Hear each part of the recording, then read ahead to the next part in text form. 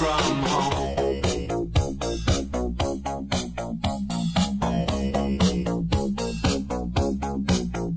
my heart Takes a hit and then my heart hits back. And each day I find comfort in the fact I listen to my friends when they say, "Man, just relax."